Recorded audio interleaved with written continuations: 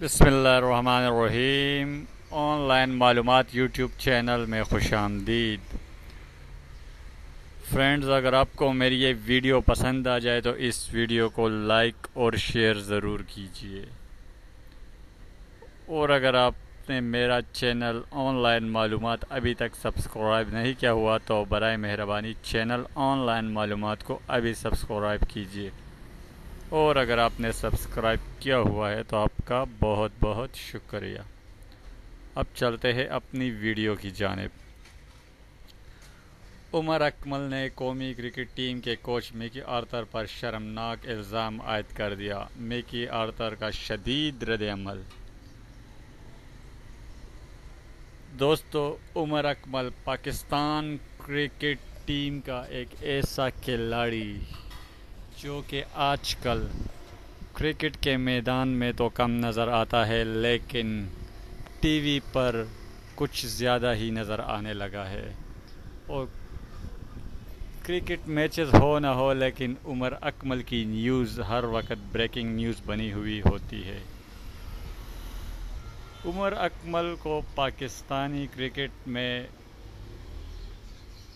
ایک اور نام سے بھی جانا پہچانا جاتا ہے اور وہ نام اس کو دیا گیا ہے میڈیا کی جانب سے کہ یہ بریکنگ نیوز بوائے ہے۔ یعنی یہ کچھ نہ کچھ کرتا رہتا ہے جو کہ بریکنگ نیوز بنی رہتی ہے۔ اس بار عمر اکمل نے تو حد ہی کر دی۔ عمر اکمل نے پاکستان کرکٹ ٹیم کے کوچ میکی اورتر پر سنگین ترین الزام عائد کر دیا۔ عمر اکمل کا کہنا ہے کہ مکی آرتر نے انہیں گالیاں دی۔ جب وہ کیمپ جوائن کرنے لگے تو مکی آرتر نے انہیں مخاطب کرتے ہوئے کہا کہ تمہیں کرکٹ اکیڈمی میں کس نے آنے دیا؟ تم لیگ کرکٹ کھیلو، اس کے علاوہ جا کے کلب لیول کرکٹ کھیلو، لیکن تمہیں کرکٹ اکیڈمی میں آنے کی ضرورت نہیں۔ عمر اکمل کے پریس کانفرنس کے بعد مکی اورتر جو کہ پاکستان کا ہیڈ کوچ ہے، انہوں نے اپنی شدید رد عمل کا اظہار کرتے ہوئے کہا کہ پاکستانی بیٹس مین غلط الزامات لگا رہے ہیں۔ انہوں نے عمر اکمل کو کہا تھا کہ اپنے پیٹنس پر توجہ دے۔ اور اپنی کارکردگی کو بہتر بنا کر ٹیم میں سیدھے راستے سے آئے، نہ کہ شارٹ کٹ یوز کرتے ہوئے آپ پاکستان کرکٹ ٹیم میں آئیں۔